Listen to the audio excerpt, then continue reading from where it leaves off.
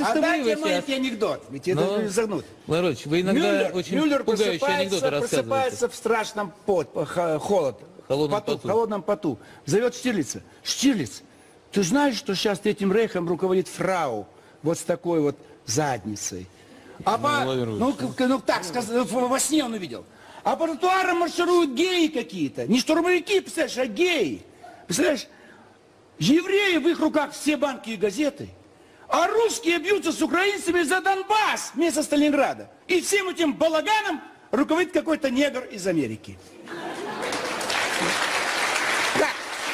Владимир Владимирович, в холодном поту просыпаются те, кто а держали есть- в страхе всю Есть планету. еще хоть одна страна мира, в которой вам не запрещен въезд? Китай. Понятно.